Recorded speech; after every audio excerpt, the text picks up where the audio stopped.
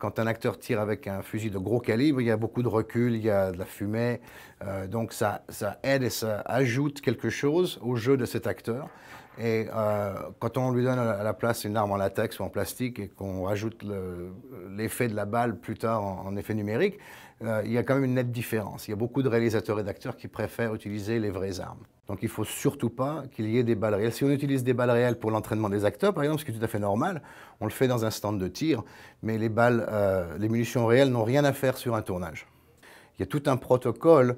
Quand on met des balles à blanc dans une arme, on l'annonce plusieurs fois. On fait voir euh, également euh, à l'équipe caméra, à l'équipe machiniste, s'il y a quelqu'un qui pousse une dolly par exemple.